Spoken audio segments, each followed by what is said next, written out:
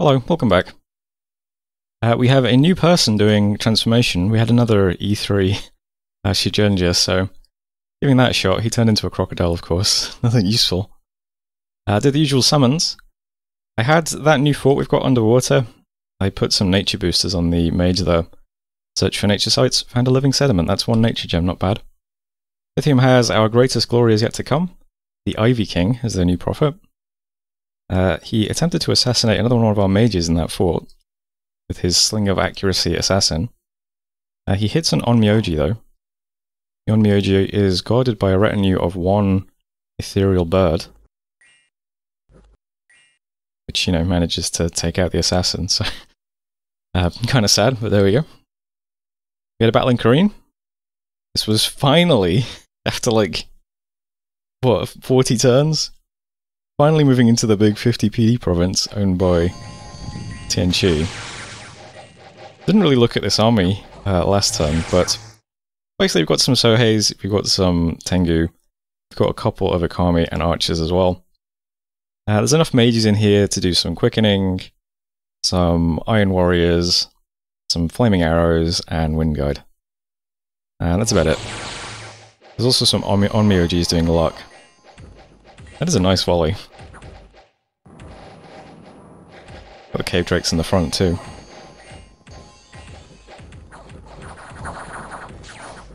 Tengu fly in.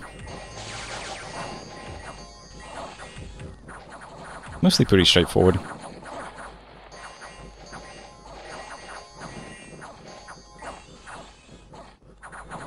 The uh, Bone Melter is pretty long range when we've got those boosters, huh? Wait, do we actually have those boosters, or am I... am I just making that up? Hang on, let me see. There's a Fire Mage. There's an Air Mage. I can't remember which type I have doing Bone Melter.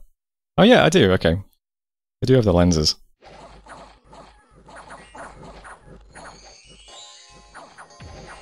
Yeah, I usually give the nature ones the... Oh, that's right, it's a nature water spell, I remember now. Yeah, so the nature water guys get water lenses to do long-range bone melters. Going fine. We did lose an Onmyoji on turn zero to an arrow, which is great. And uh, we lose some Tengus to our own archers, probably. But besides that, fine. We'll keep marching into Tianqi's territory. Uh, we also saw a battle in Roko, but nothing too interesting just yet. We also saw two capstorms this turn. So we've stormed Caelum and Atlantis stormed Lemuria. So exciting turn.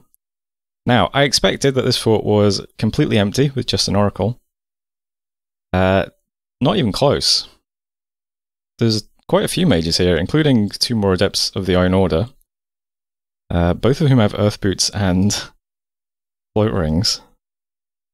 Uh, I'll be honest, I don't think Earthquake is that good a spell to use against my army, but maybe I'm wrong. So lots of mages. We've got the Oracle, who is mostly just a water caster as well, but a bit of Astral. So we're doing some buffs. We do have a Trash Bag, who's somewhere. There he is. So he flies on on turn 0, well 1. Does, in fact, attack largest. Instantly just smashes the Oracle to bits. So a huge congratulations to Trash Bag, who then immediately gets dusted dusted. so, you know, uh, great showing. There goes an earthquake. Don't think it does much to us. I'll check the battle report at the end. We've got the big evocations, we've got Fire, we've got Bone Melter, just clearing out all the stuff that flew at us. Our Tengu are flying in with their armor-piercing weapons. Very nice. Looks like we did get off Army of Lead as well. Rocking 22 protection.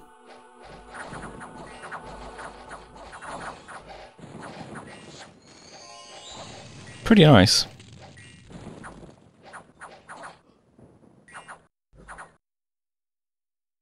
So, you know, definitely more stuff than I thought there was going to be. Uh, but uh, we still managed to clean it up pretty effectively. We did lose a Ryujin. And of course we lost uh, Trash Bag too. I'm not sure what killed the Ryujin, but we did lose it. Uh, where's the Adept? The Adept's got 32 kills. I guess that's not nothing. But uh, not terribly impressive either.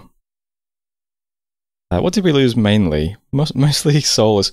We did lose a lot of whites to banish spam, which is a shame because the whites are cool. 14 archers, 9 Tengu. That's about it.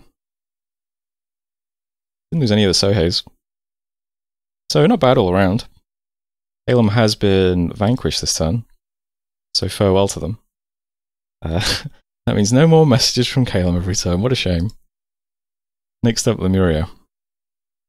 So here we have Atlantis. He is fielding cubes and green lions. Love it. Got some uh, long dead horsemen in the front as well. Lemuria has a ton of acolytes back here with the super bless. He's also got a statue of war here. F6, E5, D6. Pretty nice chassis. So I can see people casting Magic Duel. You guys are doing Unholy buffs, okay. Any of you guys do Magic Duel? I see it getting cast, but... There we go. It's getting cast at these guys, okay. So these guys just got popped by Magic Duel. You have better astral casters or something? That you guys? I mean, not much better. There's two. He's popping some of those guys there. Uh, we just did Life After Death. We've also got... Uh, this is Stygian Rain for um, Atlantis. And we've got Rigor Mortis for Lemuria.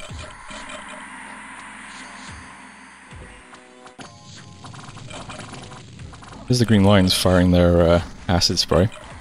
You also have Acid Storm from Atlantis too. Ah, I didn't go the cubes. I wonder if the... I feel like the cubes should be immune to acid damage. A green spell too. Everything just got lucky. Nice.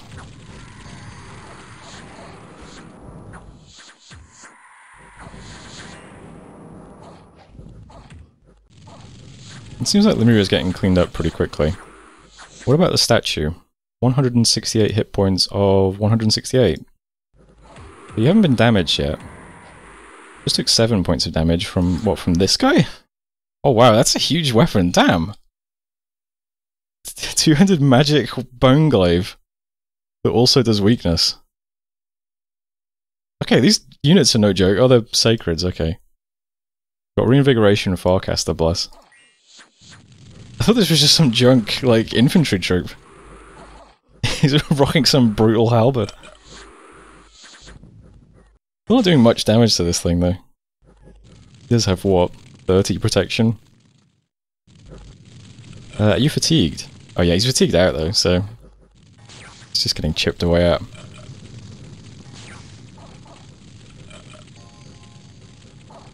Let's put it on turbo.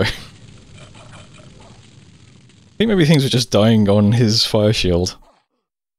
Besides that, nothing too difficult, it looks like. As there's Lemuria. So the Acetets are the Sacreds with the huge weapons. Yeah, wow.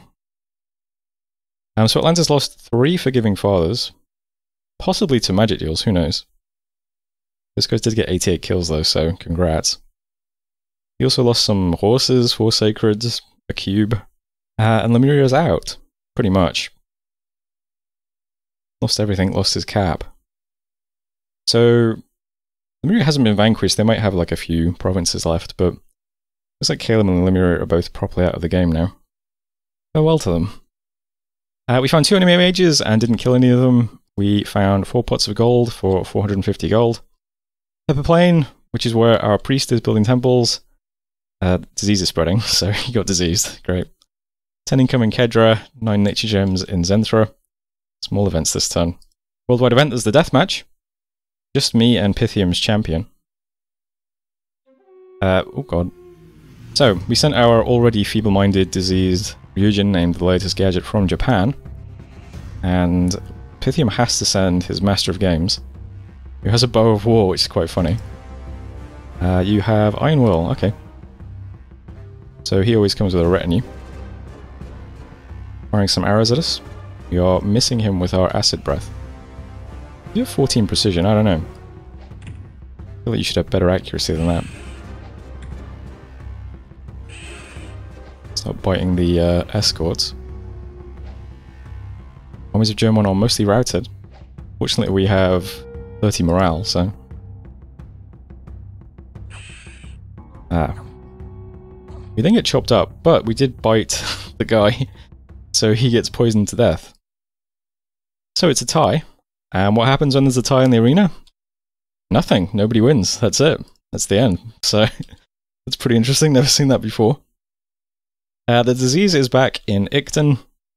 We discovered a scout in uh, Perenna, at least. And uh, yeah, Caelum's been vanquished. That's it for messages. Right, so got lots of Dominion over here now, which is nice. So we should start getting protected by the rainbow. We're pretty safe from rituals. Uh, I guess we're also safe from mages walking into us, which is nice. At the moment, I am patrolling with these guys in Mapito, and I am patrolling with these guys in Perenna, and I'm move patrolling some stuff into Icton as well to do some patrolling there. So we'll start patrolling the border with what we've got here at the moment. But the patrols we have are going to change because some of this stuff is going to go to war in a second. But I'll try and keep uh, this area clear.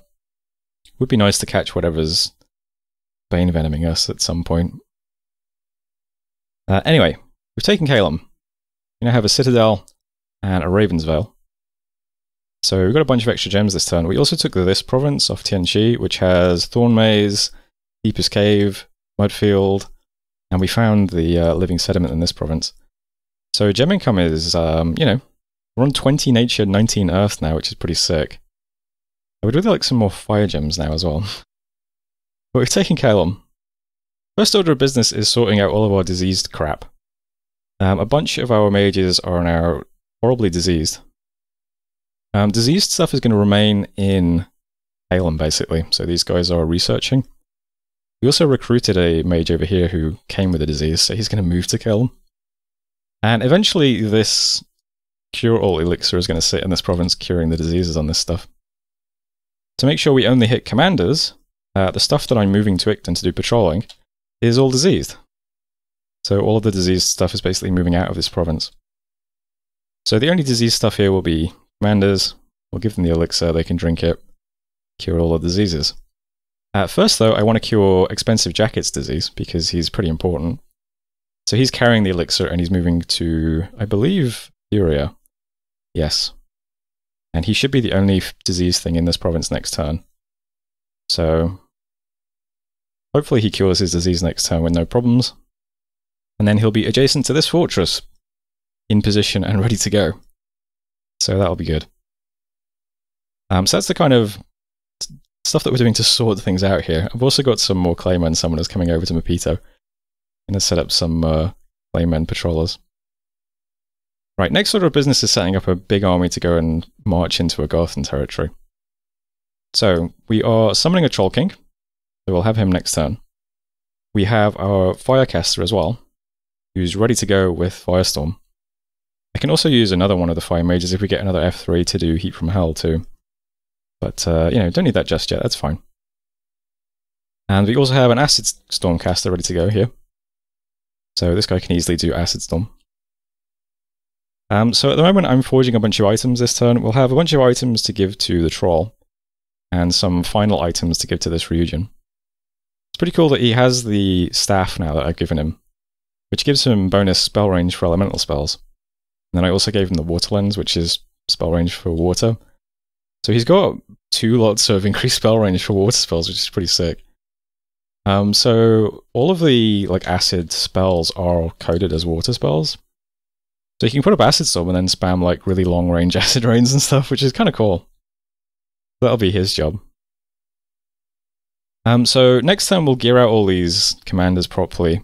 We'll put together a little army, and I'm just going to sit straight on Winter Peaks, crack it open instantly, start moving up and taking Tenwa probably. I'll try and take some of this other stuff with something we can use to raid. So next turn I'll show off everything properly as we move it into Winter Peaks.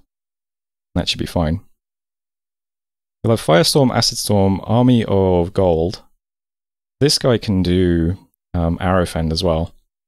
And then maybe we can have a heat from Hellcaster coming here. And that's all set up nicely. So that should start to look cool next turn. Uh, over here we just took Khureen. So here's the army I didn't really show off, but yeah, it's just blocks of Tengus behind blocks of Soheis. And uh, you can see a bunch of stuff inside them.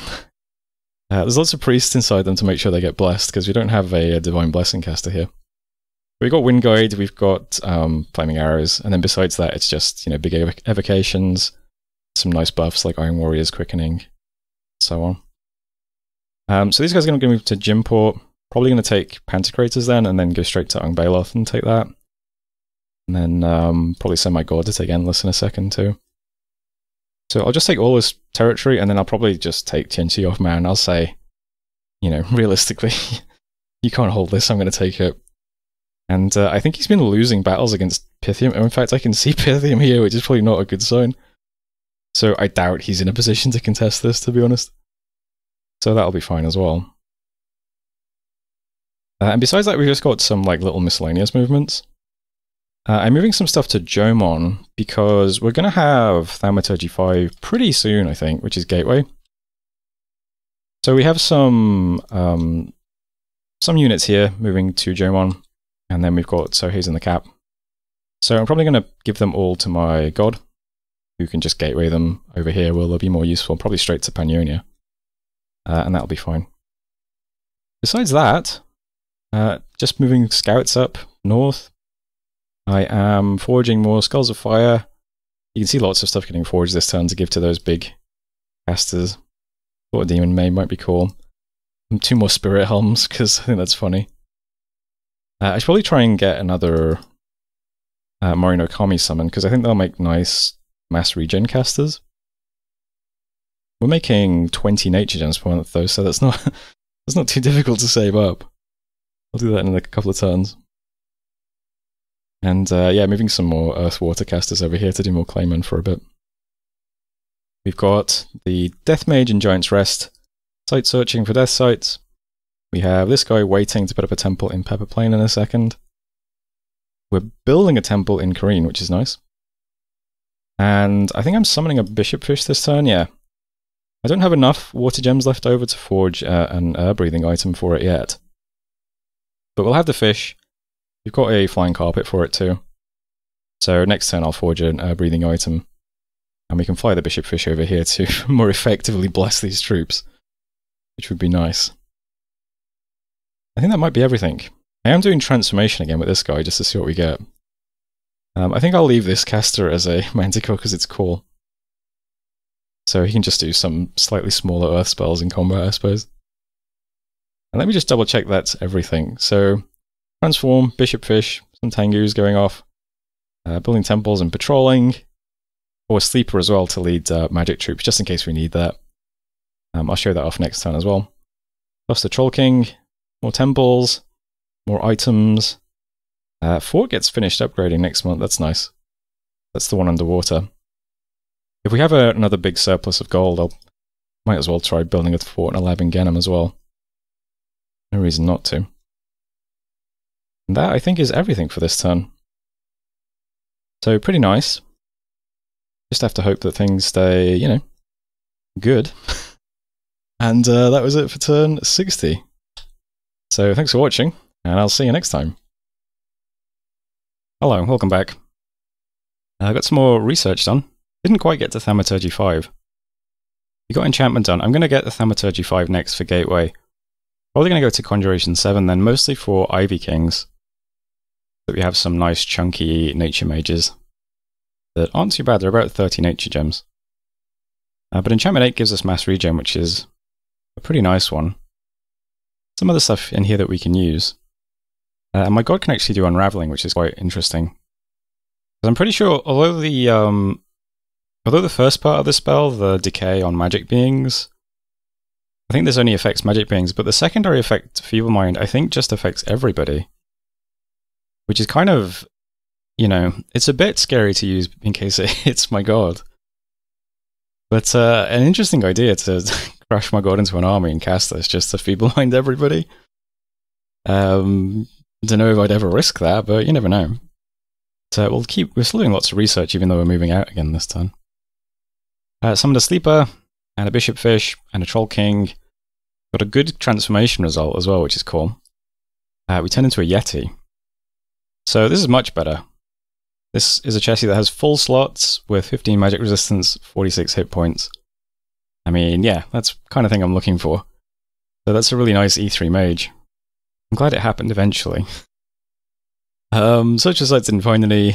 Some crippled units died. Saw some more small exchanges between AI, Tianqi, and Man, and uh, Bogarus and Agartha, but nothing crazy. We found one enemy age, and one was feeble minded. Interesting. So we hit an astral mage somewhere.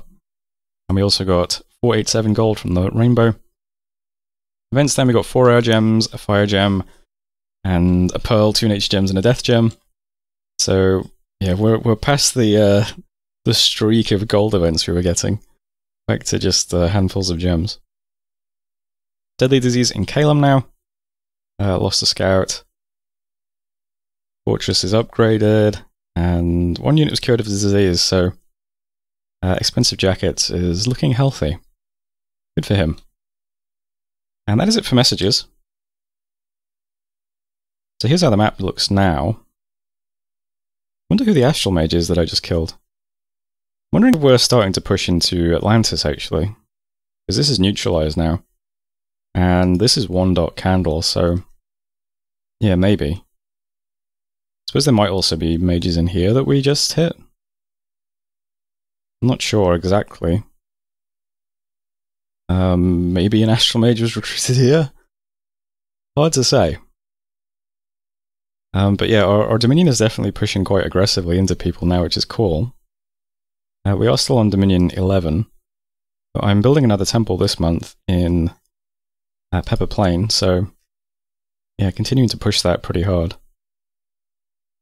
Anyway, this turn, lots of red arrows as usual. I'm always just moving mages to more useful places. Uh, I'll just cover this region first because it's quite simple. There's some commanders moving to Jomon. Uh, my god is moving back to Lomok though, because I realized we have a S, well, 4 mage here now, who's got a Wand of Wildfire.